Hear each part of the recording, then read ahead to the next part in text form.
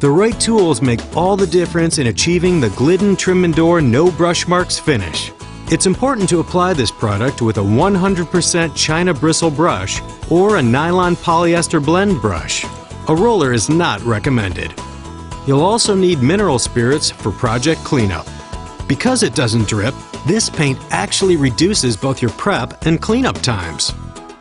To get your project going, all surfaces must first be completely clean and dry, free from oil, grease, dirt, and other substances.